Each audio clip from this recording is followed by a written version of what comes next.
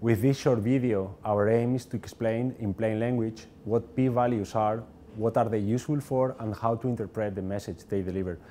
All the range from the junior to the most experienced researchers trust on p-values in order to estimate the credibility of their findings as an absolute true.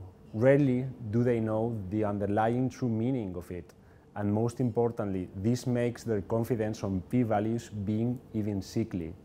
In a world where decisions must be taken and clear, straightforward answers are required, having such an indicator saying above or below which things happen is very comfortable and reassuring. Few know the occult problems of using p-values as the sole marker for a data analysis interpretation and the misleading conclusions that they may cause. Some recent papers illustrate these points magnificently, finger pointing the wrong use and interpretation of p-values and educating about the right way to do these things. The American Statistical Association and others have remarked the risk of the wrong use and interpretation of p-values. Briefly speaking, they say that the validity of scientific conclusions, including their reproducibility, depends on more than merely the statistical methods themselves. Interestingly and frequently misunderstood, P is not the probability of a specific hypothesis being true.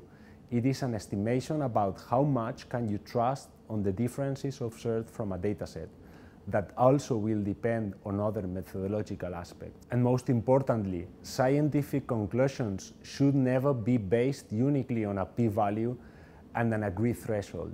Results should be considered within context in order to make the right inferences, frequently to establish a cause and effect relationship.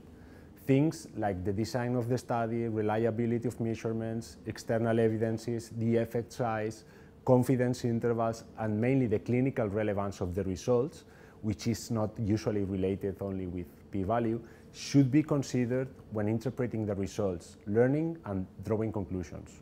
Many researchers tend to confound statistical significance, which means that a seen difference is unlikely to be caused by chance, with clinical significance, namely the observed difference is big enough to have clinical importance. To add confusion to this, note that the more things you analyze, the higher the probability of finding at least one statistically significant result without it being true, which is the so-called type 1 error. This invites researchers to torture data until they confess. It's a kind of significance chasing. This is the so-called p-hacking, just to feel the research was worthwhile and led somewhere important.